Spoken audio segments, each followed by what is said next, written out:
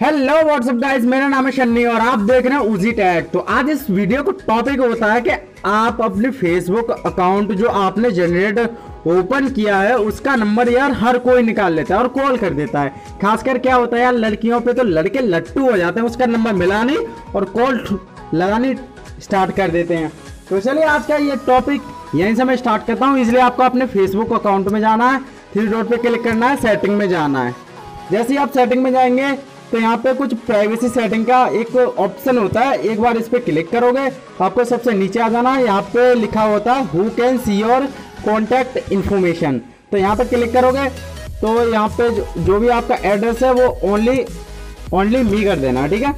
यहाँ से यहाँ से ये वाली सेटिंग हो जाती है। आपको अब क्या करना है बेसिकली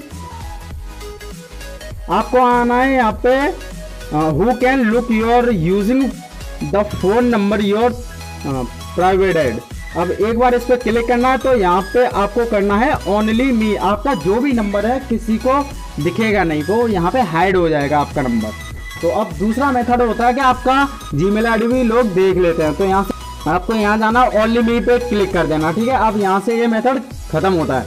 आपका ना तो ईमेल और ना ही आपका नंबर और एड्रेस भी किसी को दिखेगा नहीं। कोई भी आपकी प्रोफ़ाइल सर्च करता है तो वहाँ पे ओनली ऑन आपका नाम ही जनरेट होगा, आपका नाम ही उसको दिखेगा और सिंपली उसको कुछ नहीं दिखना। ठीक है, यहाँ के कोई भी आपको फ्रेंड रिक्वेस्ट भेजता है, वहाँ पे भी आपका नंबर शो नहीं होगा।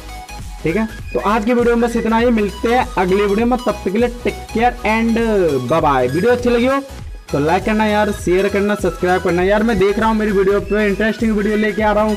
ना तो व्यूज़ आ रहे हैं तो कमेंट वगैरह कुछ नहीं आ रहे हैं। तो यार, अपने राय बताया करें और कमेंट बॉक्स में यार मुझे कमेंट करके बताया करें कि इस चीज़ का मुझे सजेशन चाहिए। तो यार, आशा करूँगा कि मैं आपके लिए जल्द से जल्द वो वीडियो बना के लाऊँ।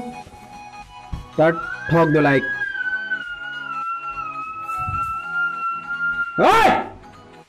बे यार ये कोई वीडियो नहीं बना यार इस चीज़ के लिए तो एक लाइक बनता है और सब्सक्राइब भी। तो चलिए मिलते हैं अगली वीडियो में तब तक के लिए बाय।